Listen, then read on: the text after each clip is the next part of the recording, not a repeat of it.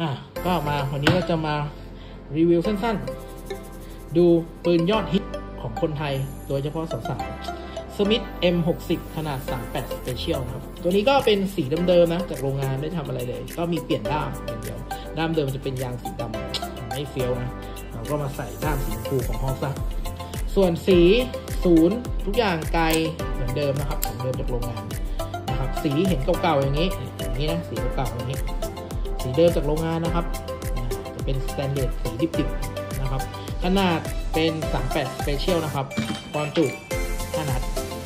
5นัดความจุ5นัดนะ โมดูลเฟิร์สเลยโอเคศูนย์หน้าเป็นศูนย์ตายมีเซาะร่องเล็กน้อย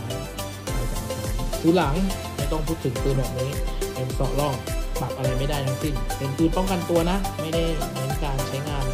ในด้านการยิงประณีตส่วนน้ำหนักไกลก็ ถ้าพูดกันก็ถือว่าหนักแต่เรื่องความคมนี่ไม่ต้องพูดถึงไกลนี่ถ้า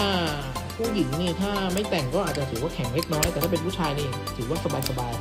ๆเป็นปืนทั้งซิงเกิลนะแล้วก็ดับเบิลก็การกดโม่ก็ใช้วิธีการดันไปข้างหน้าโม่หมุนตามเข็มไม่หมุนคนเข็มนาฬิกาโม่หมุนคนเตอนนี้เรามาดูตรงไกล